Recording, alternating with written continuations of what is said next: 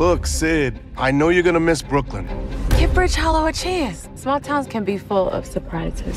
Check out those zombies. As you can see, everybody around here kind of goes crazy around Halloween. Just think it's kind of silly. I mean, do you still believe in Santa Claus? Why? What have you heard? Is he okay? Let's not invite those neighbors over for dinner. So you got plans for tonight? My dad's a science teacher.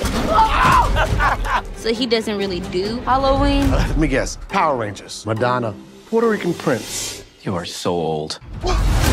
There once lived a wicked man named Stingy Jack. He died in your house. Hello?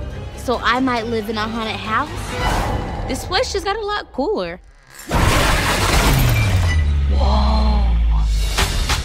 You guys are not gonna believe this. Stingy Jack tricked me into finding his old lantern.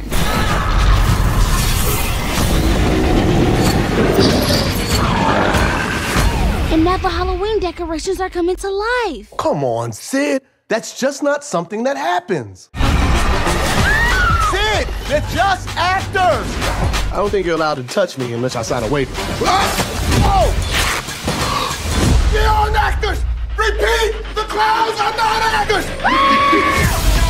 They have completely taken over Bridge Hollow. If we can't stop Jack by midnight, Every day will be Halloween. This is our house. We are not about to die here. you know what you could do to something that's real? Booyah! You can kick its ass.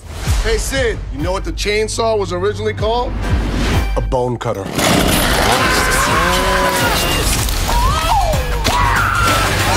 Yes!